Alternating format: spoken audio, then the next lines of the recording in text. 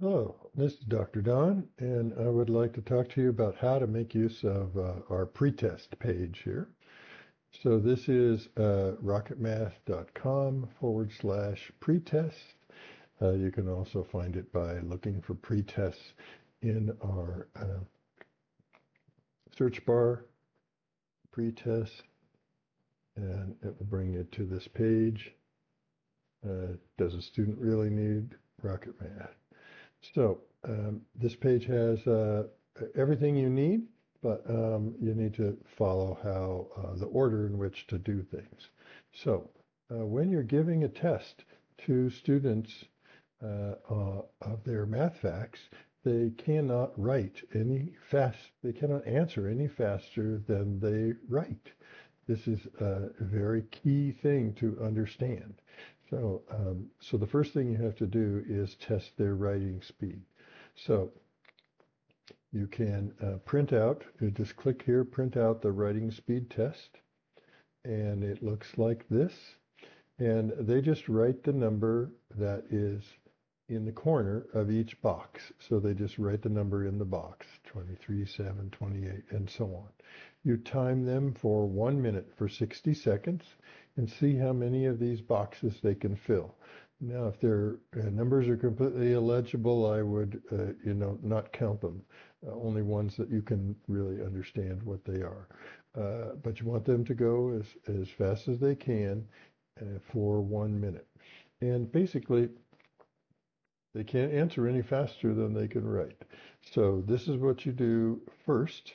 Give them this test, um, see how many boxes they fill, and then set that aside.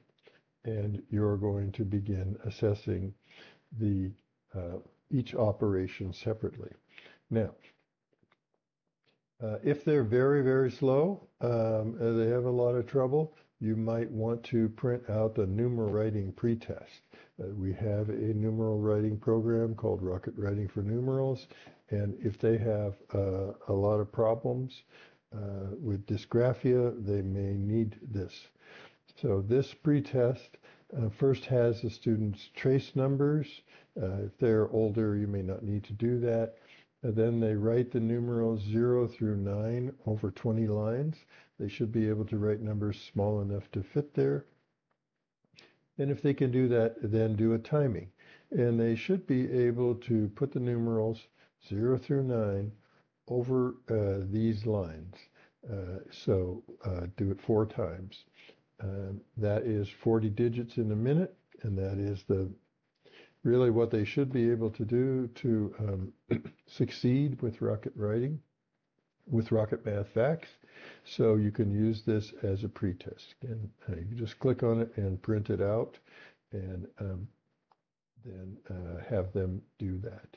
Uh, this is very easy. You could try it yourself. It takes uh, 20 to 30 seconds to write all those digits in. So if that takes them more than a minute, then they uh, need this program. So that's a test you can do if you think um, that's an issue. All right. Now, going to addition facts. Um, first, start with the addition facts, one minute. Uh, again, you click on that. You can print this out. Uh, it comes two pages, one with answers for you uh, if you need it. And um, they're going to write answers to these uh, for a minute. So again, you time them, uh, give them a pencil, get them ready. Um, it's recommended to turn the page over upside down. And then um, when you say go, they turn the page over and begin writing. That way you're sure they don't start uh, early. See how many problems they can answer in one minute. Now, how do you evaluate this? Well, you evaluate it based on, so go back here. You bet uh, using the valuation chart. So you're going to click on this and print it out. Um, this is for the pretest. So you look at uh, the row, find the row for how many boxes they filled in in the pretest. And then I would just use a highlighter or something and highlight that entire row. And then you can look at the uh, number of facts that they answered on their test and see what they need. So let's say a student has, uh, let's make this a little bigger so it's easier to see. Um, let's say that a student uh, completed, um, I don't need that help, thank you. Uh, student completed 25, filled 25 boxes, okay? Then the, um, then you look at the test and, um, this over. So 25 boxes. They filled 25 boxes. If they do 19 in a minute, then um, they're weak. In other words, if they can fill in 25 boxes and they only answer 19 problems in a minute or less, then they are weak and they need facts work in addition. If they can do uh, 20 to 22 boxes, that's good. The facts uh, facts work wouldn't hurt them. Um, and then if you go over here, if they do 23 or more uh, com- on the test compared to the writing speed test, uh, then they're strong in that area. They don't need work on that. Now, go back. So you're going to print out that evaluation chart so that you can look at each of these tests and tell.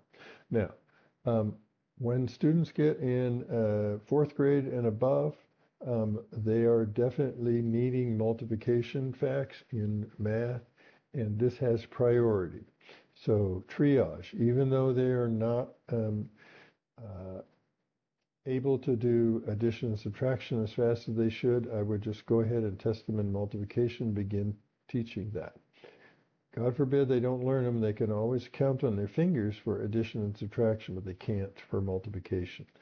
So fourth grade and above, uh, go straight to giving them the multiplication pretest.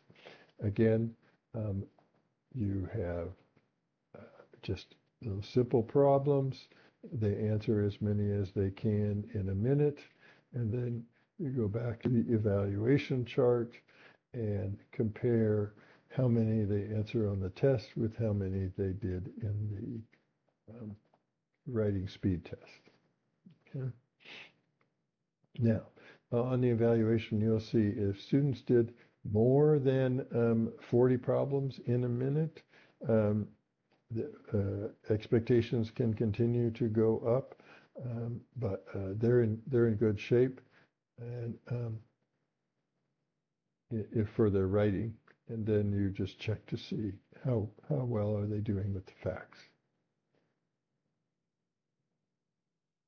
Once you know, so if a student is uh, adequately fluent with uh, the facts, then they can begin doing computation.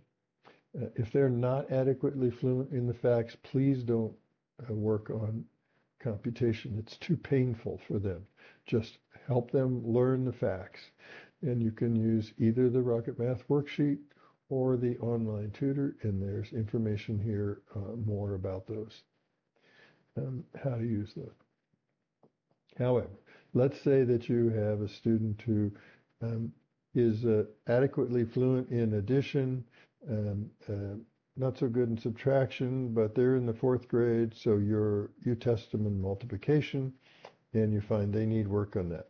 So you're going to start working with them in multiplication, but um, they could um, do uh, uh, learn to do addition computation. Now, there are a lot of skills in addition computation, so you need the um, you need to give them a pretest to find out. And the same process goes for all four operations, and we're going to get division in here um, in the next couple of days. So you'll see that here. But let me show you how this works. This is the student page. You click on that. Again, you print it out. It just gives them uh, simple uh, addition computation problems to do, right? And um, what you do is look at that uh, against the answer key. And the answer key uh, gives you tells you the skill for each uh, set of problems and, of course, the correct answer. So when you look at uh, the work that they do, you're going to begin them wherever they start falling down. Whatever, you know, these are numbered in order. So 1B, 2A, 2B, and C, 2D, and so on. And you're going to start wherever they start having a problem. Now, they get it wrong because of a facts problem.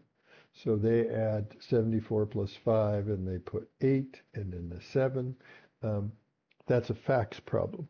And um, that's not really what you're concerned about. Facts you're going to do, uh, you know, fact work. But what you uh, do want to do is, if they don't know um, how to do things, they make mistakes, then um, then you know uh, what. That's where you begin teaching them. So, for instance, if they don't know how to carry or a regroup, so they put down the one and carry the two, or maybe they just put down the two and they add the two twos, you know, so they have 42 as an answer. They didn't carry. That means this skill is uh, one that they need. So again, when you're looking at them working, uh, the one of the nice things about being a tutor is you can hear and watch.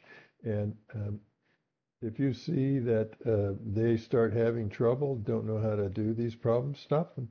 Um, because you know where to start uh, with the teaching. Okay?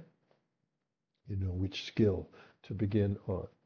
All right. And all of these skills are uh, available in the um, computation program. And um, give you some information about that um, what goes on. That is one of the learning tracks in the um, Rocket Math worksheet program.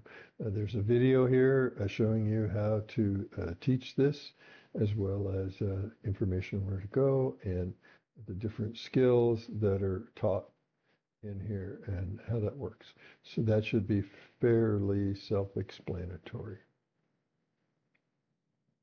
Okay.